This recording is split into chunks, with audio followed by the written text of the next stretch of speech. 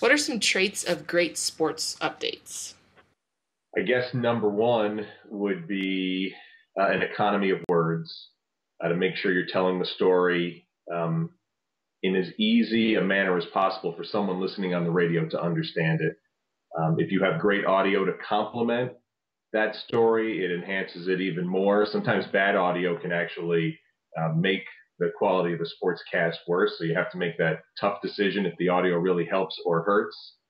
Um, and then making sure that you have all the pertinent information. You know, I'm on a national sportscast, so I ha- it's it's harder for me to have to pick and choose what's going to be most interesting for people all across the country.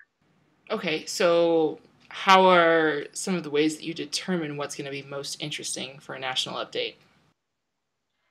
Well, the good news for me working at ESPN is anytime I drop in to work, uh, the television side and the radio side and .com are all on a 24-hour cycle. So if I have any judgment calls besides using, you know, my own judgment or, um, you know, my boss's judgment, I can always just flick on TV and see what their story order is.